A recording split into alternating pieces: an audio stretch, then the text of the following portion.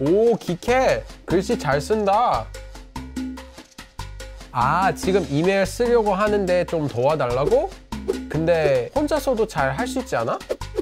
에이, 한글 키보드를 못 쓴다고? 그래, 내가 가르쳐 줄게. The first thing you'll need to do is add a Korean keyboard in your computer settings.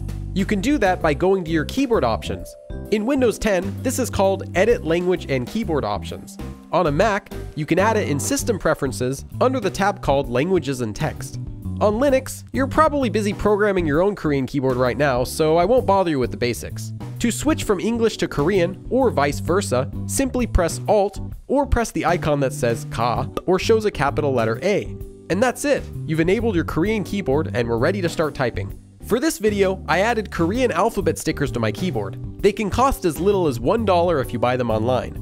I've personally never used them. So here's how to type. In Korean, you'll use the same 26 letter keys in English, from A to Z. You can see that all of the consonants are on the left, and all of the vowels are on the right. So let's talk about how to use the keyboard to type in Korean. When typing Korean syllables, start with the letter farthest from the top left, and then go to the top right. Then go from the bottom left to the bottom right. So the order you'll type is left to right and top to bottom. For example, to type ka, you would first type the left letter on the keyboard, which is R, and then the right one, K.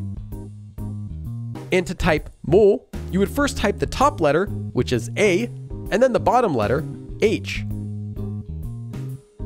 To type pun, start from the top left letter, which you can type with Q, then go to the top right, K, and then finally go down to the bottom letter, S. Typing diphthongs works in the same way too. First type the left vowel, and then type the right vowel. But some letters also require the shift key. For example, you'll need to use the shift key in order to type the five double consonants, as well as the vowels ye and ye. For these letters, first hold shift, and then press the corresponding key. So pressing just Q will create a regular letter, and pressing Q while holding shift will create its double version. Let's try to type a word. We'll type each syllable one at a time. First we'll do un, which is typed in this order. So to do that, we'll need to type on the keyboard D, K, S. For the second syllable, we'll type S, U, and D. The keyboard will automatically know which letters go with which syllables as long as you type them in order. So let's take a look at an example of what I mean. This word is saram, and it means person. So to type it, we'll first type the left syllable, sa.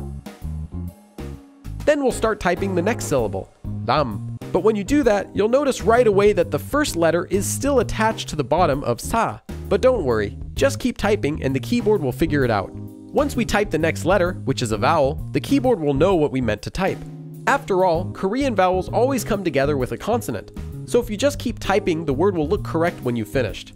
That's really all there is to it, it just takes practice. But it won't be long before you'll find yourself typing without even looking at the keyboard. If you want some additional practice, I also made a game that you can use to practice your typing called Hangul Attack, which you can download for free from my website. And that's really all there is to it, it just takes practice, and it won't be long before you'll find yourself typing without even looking at the keyboard. The best way to get better and faster at typing in Korean is to just type more Korean, send messages to your pen pals, write journals online, and chat with friends. Thanks for watching, and if you want to become a supporter of Go Billy Korean, I'll put a link in the description to my Patreon. And remember that new videos are uploaded here every week, so click subscribe and follow along. 그럼 다음에 또 봐!